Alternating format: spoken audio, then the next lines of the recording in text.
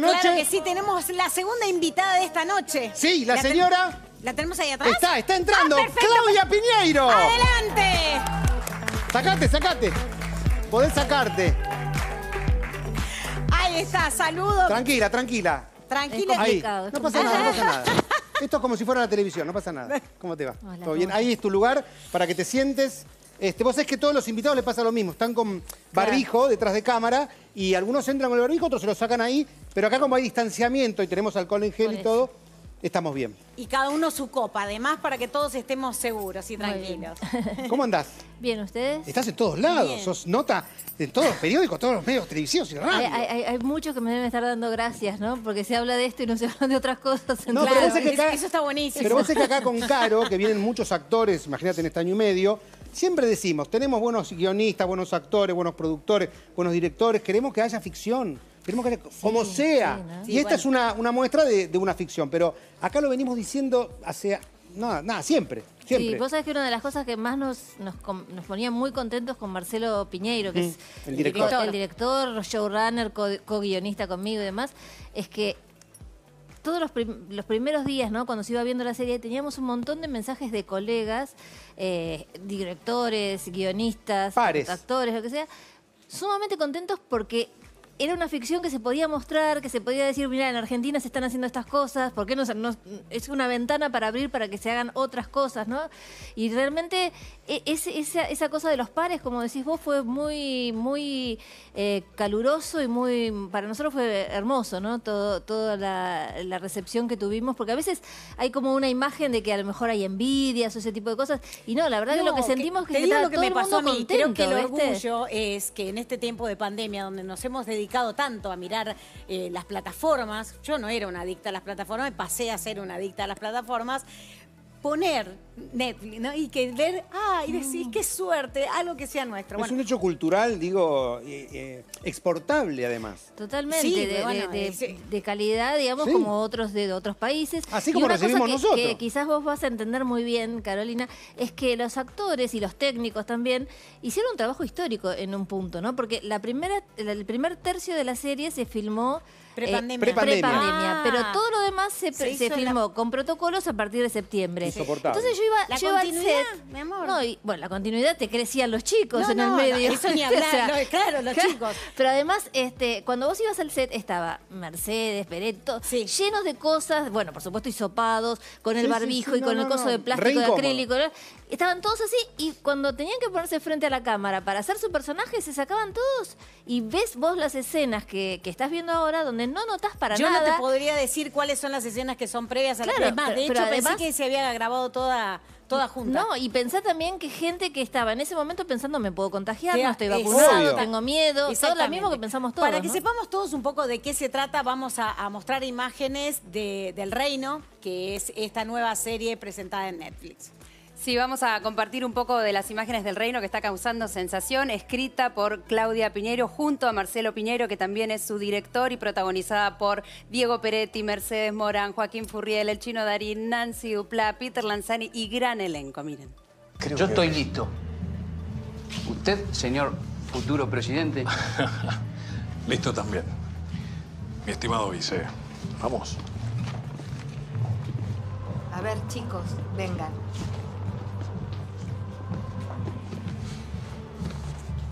偉いな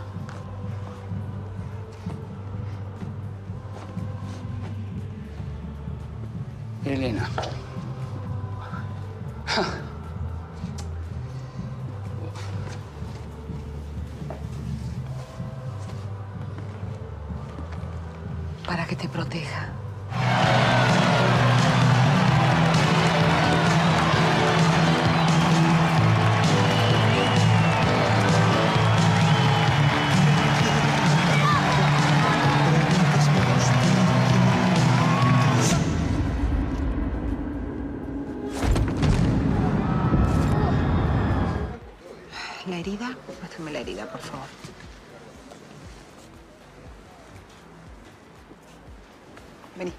Se ve bien de acá, sí.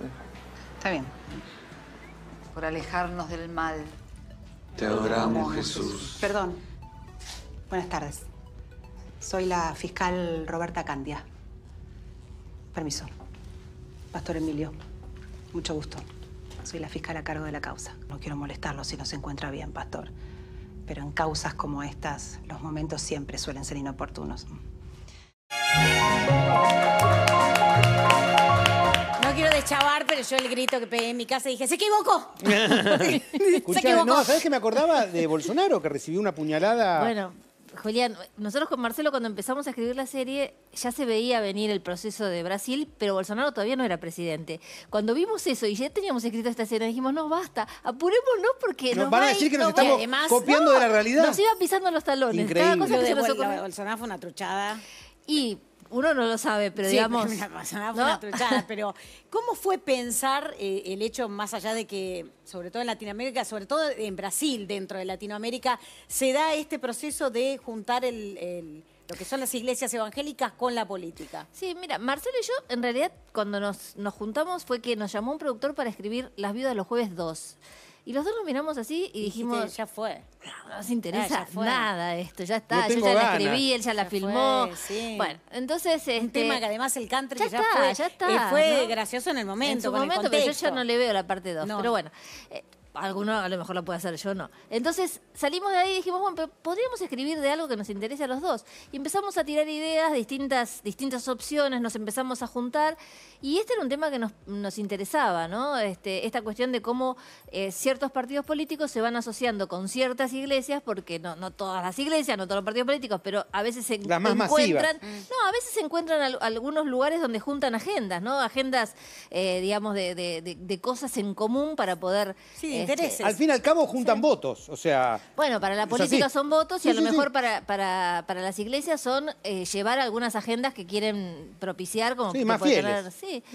Eh, no, sí, temas. temas, eh, ¿no? temas, Sí, sí, Claro, bueno, pero también la temas que les masividad es como que les sirve a todos. Les sirve a todos. Bueno, en definitiva, estos procesos que vos decís se ven en Brasil, pero también se ven en otros países, ¿no? Y también no solo con la iglesia evangélica, porque fíjate que cuando fue el golpe de Estado en Bolivia, Yáñez entra con la Biblia. Con la Biblia, Y sí. cuando Bukele en Salvador, eh, que es el presidente de Salvador, hizo un autogolpe, entra al Congreso con los militares y la Biblia. Entonces se Por ven... eso digo que hay un proceso en Latinoamérica que se está dando, que hay una mezcla de lo religioso. Yo lo pensaba cuando vi la serie, digo, claro, a lo mejor la diferencia en Brasil, porque es el que tenemos más cerca, es el que pesa más dentro de la- económicamente, dentro geopolíticamente, dentro de Latinoamérica, pensaba que al tener la iglesia separada del Estado, claramente, eh, dentro de su constitución, a diferencia de nosotros, nosotros como que tenemos un, más de una preeminencia de la iglesia católica y las otras como que no, no, no hacen tanta mella. Yo no te diría, estos yo te diría que el país que tiene la, la iglesia y, y el Estado separado es Uruguay. Y por eso Uruguay accede a ciertos derechos mucho antes que nosotros, ¿no? Sí, pero bueno, claro. sería quizás una conversación para otro lado. Pero digo, en Uruguay en general llegan antes algunos derechos de las personas que las, que las iglesias este, tratan como de que, de- de- de que no se concreten, como puede ser el matrimonio igualitario, la ley de interrupción voluntaria del embarazo, Sí. la patria potestad, la educación laica, un montón de cosas. Ellos llegan antes porque hace mucho tiempo que separaron iglesia y Estado. Nosotros lo tenemos separado en la Constitución en cuanto a que decimos el Estado es Sí, laico. laico y cada uno pero tiene la libre la realidad, no, la práctica en- no. Yo digo, no está separado la iglesia del Estado. Digo que en Brasil sí, y a lo mejor estas iglesias adquieren una importancia. En Brasil sí, vos decís. Sí. Ah, no sabía, pero entonces que la iglesia tomó el Estado en Brasil. No, lo que digo que las evangélicas pues, tienen, de repente, tienen una preeminencia que lo que hacen es poder apoyar abiertamente. Este proceso se podría dar perfectamente, más allá que acá. Acá lo veo. No, en, en Brasil se, está- se da. Sí, sí, digamos. sí, no, claro. se puede dar, se da. Aparte no tienen un presidente, tienen de todo. No, bueno, eh, digamos que... que- tienen que- un multimedio, tienen Exacto, canal el canal de televisión, televisión más importante es... eh, Pero ¿Cómo- bueno, cómo se, ¿Cuánto tiempo se tarda en llegar al guion final? Desde que empezaron, este tema nos gusta, queremos escribir. ¿Ese proceso cuánto dura? Bueno, se, tarda tiempo hasta que hasta que terminás como de armar quiénes son, por lo menos nosotros, quiénes son esos personajes, porque al revés de lo que algunos piensan, que vos te pones a pensar la trama, qué es lo que va a pasar, lo que nosotros hicimos es pensar quiénes son los personajes. Yo creo que por eso también los personajes de esta historia tienen tanto peso específico, ¿no? Tanto los principales como los secundarios, que vos decís, bueno, acá hay mucho más para contar de estos personajes secundarios. Y tardamos mucho quizás en esa en ese momento, ¿no? De, de Pensá pensar que la gente no sabe cuánto se tarda, yo tampoco. ¿Cuánto no, es? habremos tardado cuatro meses, cinco meses. ¿Y no se te todo. cruza nunca un actor en ese desarrollo? Todo el tiempo. Todo el tiempo. Porque nosotros escribíamos escenas y decíamos, ¿te imaginas cuando Mercedes Morán haga esta escena? O sea, y ya no le ni sabíamos si Mercedes Morán podía, si quería, si nada. Pero nosotros ya las imaginábamos y tuvimos la suerte de que en muchos de los casos se pudo concretar y en los que no, también estábamos sumamente contentos. Los eh, actores le, le dieron mucha carga propia a los personajes, ¿no? Tomaron personajes que estaban escritos de una manera y le fueron agregando cosas. Es muy del actor argentino eso. Eh, que propone mucho sobre, sobre el guion, sobre el personaje, quiere cambiar la letra, pero no lo digo mal, ¿eh? Eh, aporta y está ahí entre el director y los que Acá están. fue, fue estupendo porque además lo que nos pasó es que cuando volvimos a grabar en, en septiembre, que tuvimos que rehacer algunas escenas porque no se podían ya filmar Claro. con los protocolos vigentes, teníamos que cambiar algunas Beso, escenas. no. Ah. Eh, Con los besos lo dejamos, pero con, con, con hisopado, Sí, ¿no? sí, sí. con dos hisopados. Pero había escenas con mucha gente, que Claro. sí no las puedes grabar de ninguna manera. Y entonces, eh, al reescribir esas escenas, nosotros ya sabíamos quién eran esos personajes, mucho más que cuando los habíamos escrito, porque los habíamos visto, porque el Claro. actor le había puesto su Tuviste la impronta, chance de verlos etcétera. en acción, poder- entonces exacto, para escribirlo. poder reescribirlo. Hay un tema interesante, el que más salta, digamos, es el de la iglesia, y por eso se armó todo el escándalo este que, que te tiene a vos allá arriba. O allá abajo, depende de quién lo mira. No, no, Pero igual vos no buscabas eso. no importa, no, importa. No Alan buscabas. Sancho, señal que cabalgamos, todo, todo viene bien. La publicidad toda viene bien, vos no te preocupes. Sí, pero, pero Eh, igual hay una cosa que es interesante, que la publicidad puede venir bien, pero la soportan en, en el, Ah, en el Ah, cuerpo obvio. sí, hay que algunas llevarla. personas, y en general mujeres. Vos viste que los ataques de este tipo, vos fíjate cómo se hacen los recortes, y los recortes, Marcelo es un guionista exactamente igual que yo, escribiendo ya no lo misma- nombran. ¿quién es la Lo culpable? muy sol- solapadamente, y Vos. además es como si Netflix no existiera, no existiera, pero acá IS, la productora no existiera, nadie existe, solamente Una loca el demonio que argentina. trajo la manzana. Esa serpiente que trae la manzana envenenada. Bueno, perdón, perdóname que te interrumpí, Claro, pero no, quería aclarar Digo esto. que, que este, este tema es el que resalta, pero a mí me parecía que, había, que hay un tema que está planteado en, en esta temporada, en esto que mostraste, que me parece interesante y que es un debate que en la Argentina, que es eh, cómo los poderes, que tienen que ser independientes, el Ejecutivo, el, el Legislativo y el Judicial, Acá el poder político claramente vos mostrás que está metiéndose dentro de lo que es el poder judicial. Y además con los altos rangos. Sí, me encanta que me preguntes eso. Aparte, como te conozco así como de verte de toda la vida y como sé quién es tu familia, digo, qué bueno que traes una pregunta política, porque realmente es, Es que un ella análisis... estudia sociología. Yo no, ciencia Ella- política. ciencia Escúchame, es política. una pregunta recontra política, porque también uno siente, bueno, se ponen a hablar de lo de las iglesias porque no quieren hablar de todo esto, todo esto que está en la serie, ¿no? Porque por supuesto que la serie habla del poder, del poder político, del poder político lo puede ejercer una iglesia, la inventada, esto es ficción, esa iglesia que inventamos para esta historia, pero también el poder está en, en- en lo que vos viste de, de cómo se maneja la justicia, en cómo se manejan los partidos políticos, en cómo se manejan no sé qué palabra ponerle al personaje de Osorio, ¿no? ¿Qué- ¿Cómo lo llamaríamos? El poder que está sobre los poderes, que no Sí. sabemos bien quién es, que sabemos que alguien lo llama y le dice, ¿no? Es que el ya poder uno sabe, porque antes uno pensaba en términos de cuando éramos chicos, o yo por lo menos ustedes son más chicos, en términos Estados Unidos, Rusia, quién Claro. es el poder. Y ahora es sabemos Putin que, que llamó. no, nosotros pensamos que hay un poder por encima de Sí, todo sí, eso, sí, ¿no? Porque claro, qué sé yo quién es el poder. Uno no sabe, pero que hay un poder, hay un poder. Entonces creo que la, la, peli- la serie es más una serie sobre el poder y sobre quién ejerce el poder en todo caso, que a lo mejor sobre las iglesias. Y se nos ocurrió a nosotros focalizar en una, en una familia, una familia, personajes, donde hay personajes que están, tienen un vínculo con la iglesia. Eh, porque les importa, porque están so- No, porque les totalmente... sirve. No, pero hay muchos de los personajes que son absolutamente fieles de verdad. O sea, Tadeo o No, no, eh, varios. es que eso no los- se los discute chicos ni tienen todo lo un- bien un que vínculo hacen. con la iglesia y con, la, con ayudar al otro y con ayudar a las cárceles. Por eso digo, está en la no, serie. todo lo bien, eso no se está discutiendo, se está discutiendo otra cosa. Claramente yo me, me centré, digamos, en el personaje Nancy, que es la fiscal que termina en sacachispas contra Chaco Forever, nada más que por seguir una pista que no le convenía al Alguien. poder. Es por Bueno, eso que... Escúchenme, chicos, ustedes están, están muy entretenidas, que se llevan bárbaro. Me encanta verlas. discutir, vamos a hacer un corte chiquitito y seguimos charlando. Ay, no, no Sí, me corten las chiquitito, ya ideas, no me corten las ideas.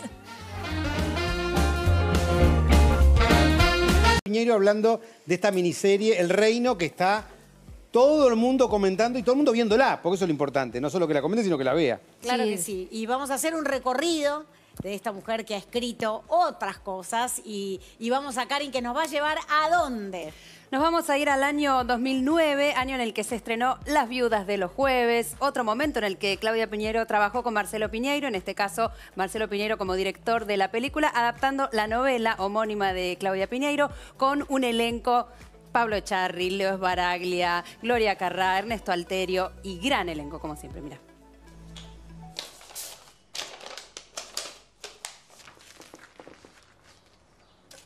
Pensé que no estabas. ¿Otra más? So what? Las notificaciones no se acumulan, no tienen tope máximo, no equivalen a o demandan ninguna otra sanción disciplinaria. La muerte no nos molesta mientras jode a otra. Qué vivo. Y se tiene a cierta regla de juego. ¿Vos te sorprendés cuando oís las noticias? No. Entonces acordás conmigo que estas son muertes que forman parte del ritmo habitual. Del toma y daca del universo. ¿Qué tiene? No me gusta la salsa. ¿Qué hacía el Tano acá? El Tano acá me vino a traer los huevos que necesitaba para la... ¿Me estás cargando? ¿Ah? ¡Puta! ¿Me estás cargando? ¿Ah? No te estoy cargando, me vino a preguntar por. ¿Que soy un pelotudo yo? ¿Ah?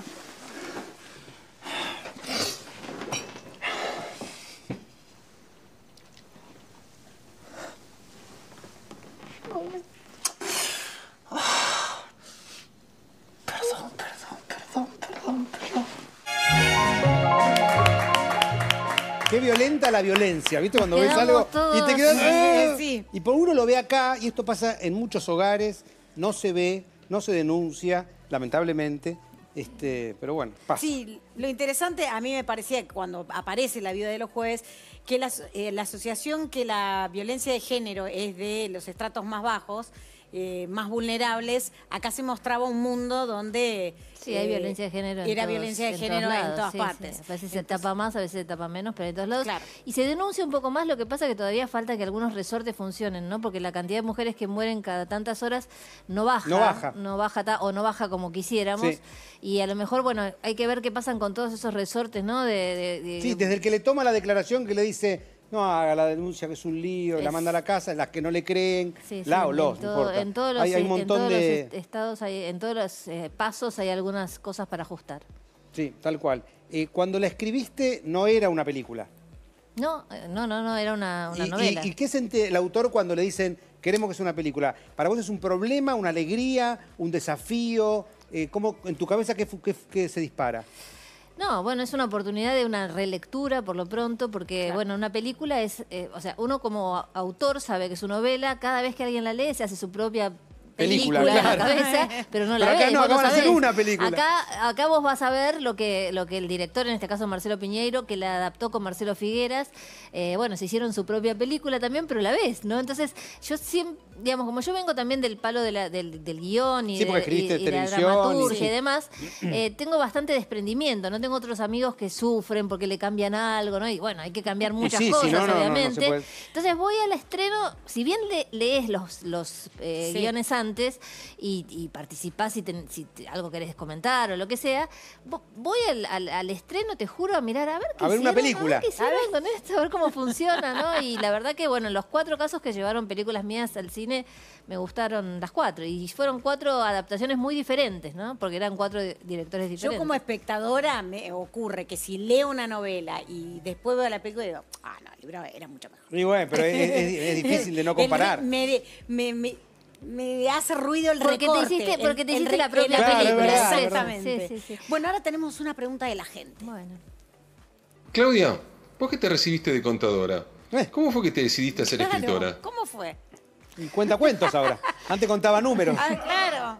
Pero esto es más divertido. No, en realidad quizás ser contadora fue una, una casualidad, entre comillas, porque yo cuando terminé el colegio secundario quería estudiar sociología y en ese año en la universidad Ah, pública por la dictadura no estaba cerrada. Sí. la universidad. Entonces, bueno, tenía que elegir entre lo que había y una de las cosas que había era ciencias económicas, el ingreso era matemática e historia, me gustaban las dos materias, dije, bueno, estudio ciencias económicas. O sea que... Viste que están los que dicen serás lo que debas ser y si no serás contador público nacional. No, bueno, es más o menos como medicina no iba a estudiar, porque si no tenés vocación de médico es difícil. Sí, sí, pero sí. ciencias económicas se podía.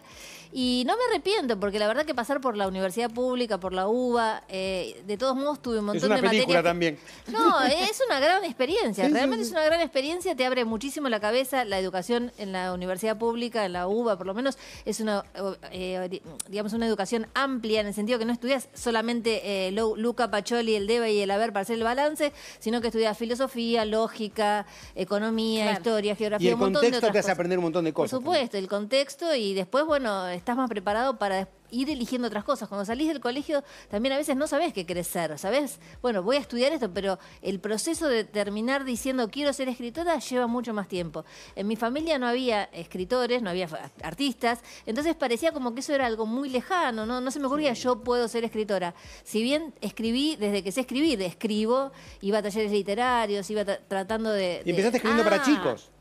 En realidad es lo primero que me publicaron, no es lo primero que escribí, Ah. pero es lo primero que me publicaron, entonces lo primero que, que, que apareció eh, así en un libro, que me acuerdo que un amigo, porque se publicó en España, fue al corte inglés y lo vio ahí, me sacó una foto, Increíble. me trajo la foto del libro en el corte inglés y era como que... Pará, me trajo la foto, porque en esa época no era No. te mando por WhatsApp. No, y además la foto era con cámara, Claro. rollo, había que Sí, sí, revelarla. sí. Ahora tenemos un mensaje de alguien que te quiere. A ver.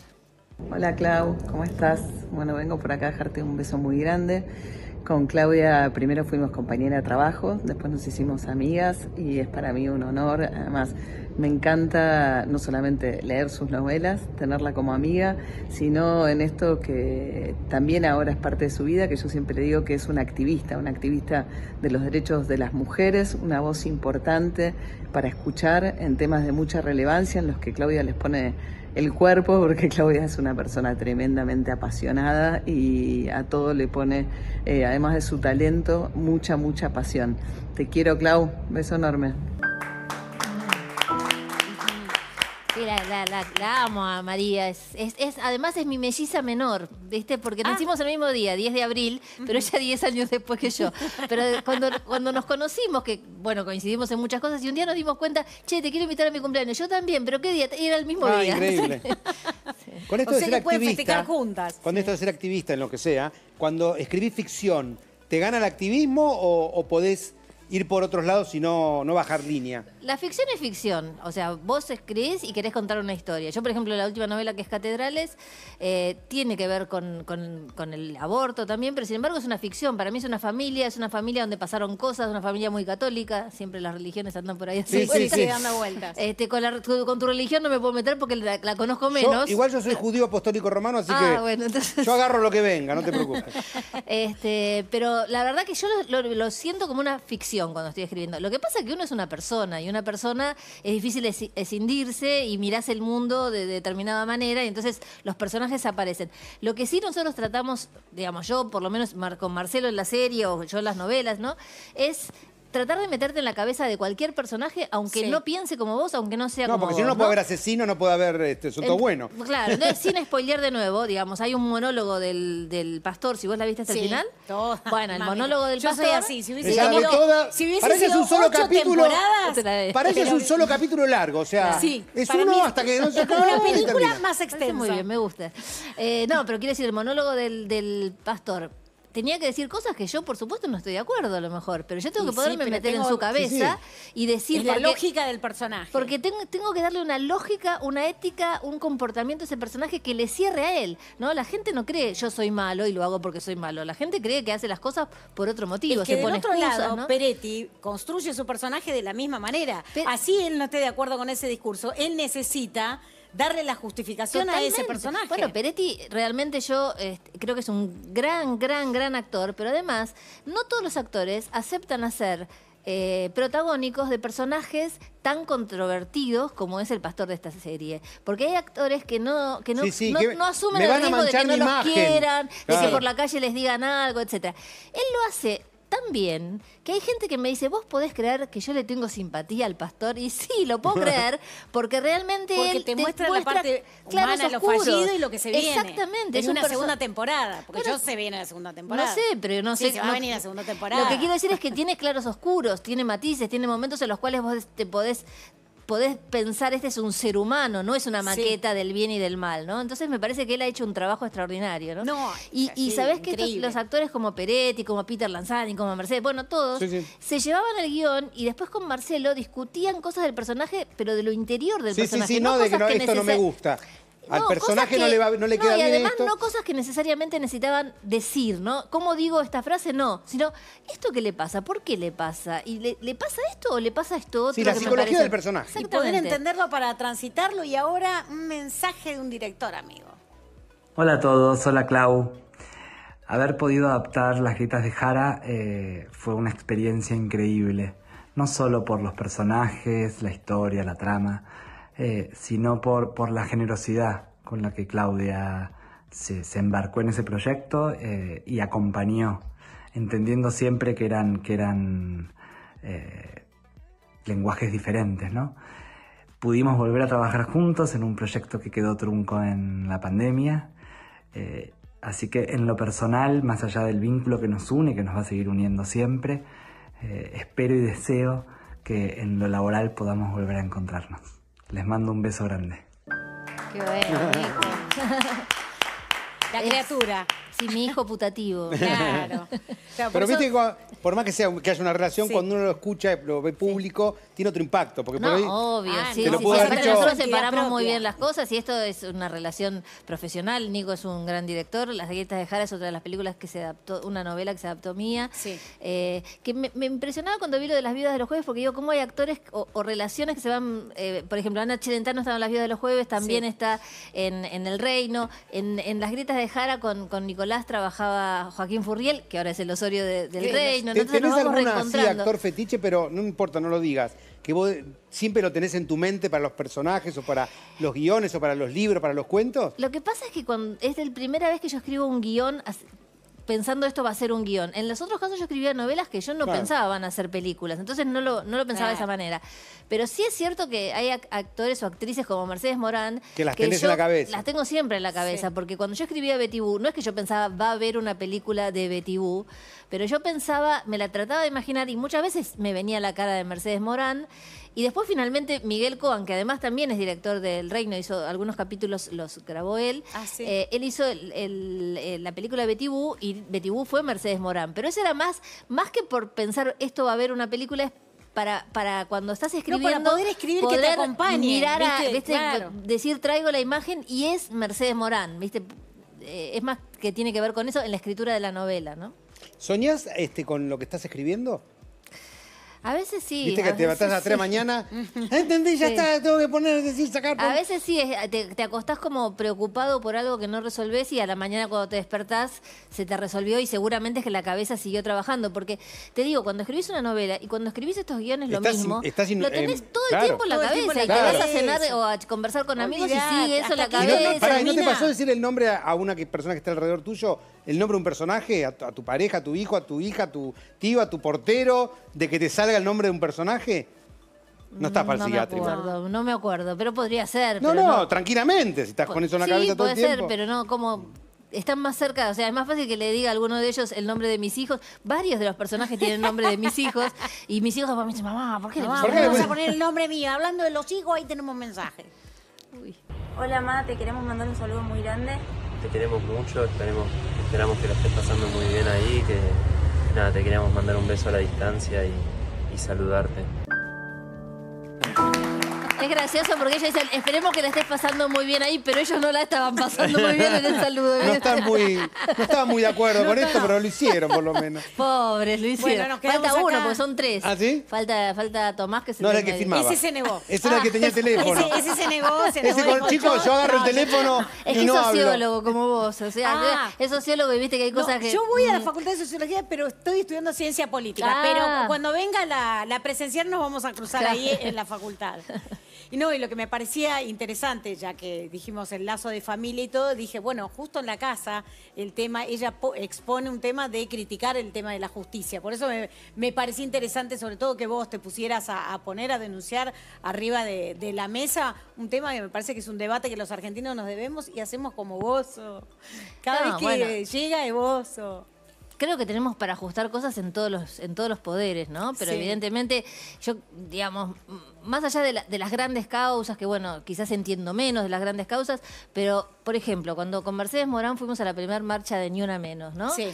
Fuimos juntas y después casi como, como, como rito fuimos a todas juntas en el medio de todo el mundo, ¿no? Sí, sí, Porque sí. nos gustaba. Y en la primera marcha de Una Menos se nos acercaban mujeres con expedientes judiciales. Mm.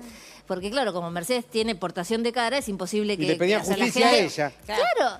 eh, no, era impresionante, o por lo menos que las escucharan, Sí, por sí, lo menos, sí, sí, mira, este juez no hizo este, Tal no, lo que perimetral Y y, mirá mi cómo terminó. Mirá cómo terminó Claro. mi hija y tal cosa, y cómo puede ser si yo lo Está pedí. lleno, tanto está lleno. Entonces nosotros teníamos que mirar expedientes judiciales que nos acercaban por cariño, por, por, digamos, por Sí, sí, por acompañar a esa mujer, no porque sepamos de justicia. Y eso es lo que no puede pasar, ¿no? Porque me parece que, que la justicia puede tener un montón de causas en las cuales habrá que revisar cómo se están manejando, pero lo que, afecta resuelvan. a todo el mundo a- o a todos nosotros es esas pequeñas cosas que vos decís, ¿por qué pasaron tantos años entre que esta Todavía persona hizo la denuncia y todavía no se resolvió, ¿no? Esas cosas parecería que, que- que tienen que tener una solución Que no son importantes cuando son tan importantes como las grandes causas. Sí, Eh, o sí. más, ¿no? Sí. Sí, todas, Bueno, te agradecemos todas. mucho por haber venido. ¿Te sentiste bien? Bárbaro. Qué bueno. Muchas gracias. Gracias. Y bueno, yo voy a acá, ahí acá lo tengo, que me lo tenían tipo sonajero, me hacían así, no es un sonajero.